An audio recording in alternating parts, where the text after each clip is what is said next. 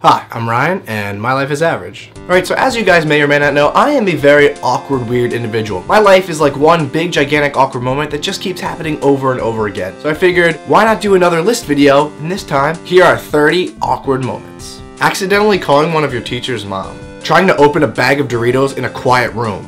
It's impossible. Eating alphabet soup and then choking on the D. Running over your own banana in Mario Kart.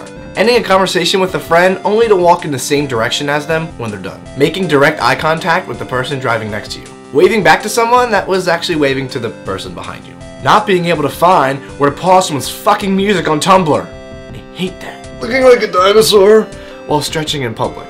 Accidentally at replying yourself on Twitter. Saying, what's up my ninjas? Around a group of black people. Legitimately not being able to tell if somebody's a guy or a girl. Not realizing that Gary's gonna surprise battle you, and you just got done winning a badge, so you're not fully healed, your Pokemon are hurt, so Gary comes in and just beats your ass, you forget to save, and your childhood is ruined. Trying to open a door to a car that isn't even yours. Accidentally grazing someone's butt with your hand while you walk by them. Realizing that you've been telling an in-depth story for like two minutes, and nobody's listening. Accidentally touching a piece of gum under a desk.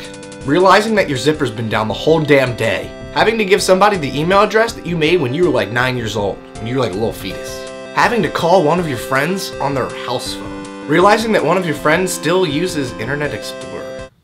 Ugh. When the same person keeps following you, then unfollowing you on Twitter and Tumblr. Awkwardly petting your friend's dog while he or she gets screamed at by their parents. Literally forgetting how to speak English when you're leaving someone a voicemail. Realizing that the person you're talking shit on is literally right behind you. Not knowing what to do with your life when you step away from the computer. Having to mumble someone's name while singing happy birthday because you have no idea what their fucking name is. Seeing someone in public that's wearing the same exact thing as you.